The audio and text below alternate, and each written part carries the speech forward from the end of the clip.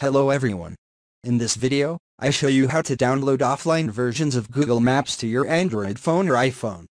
This means you can use Google Maps without using data or the internet. Tap your profile icon in the top right of Google Maps. Tap Offline Maps.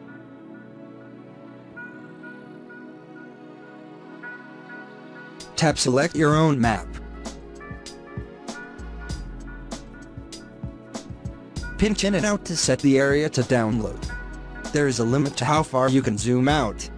If you wish to download a more extensive area, you'll need to repeat this process for each section. Tap Download. Your map will now start downloading. The app will return you to the offline maps screen, where you can monitor its progress.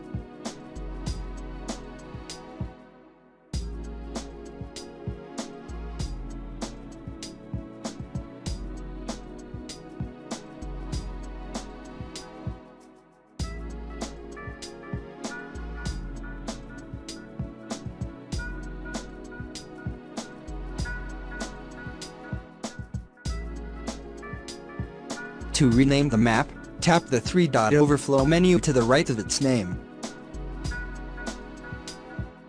Enter a name, and tap Save.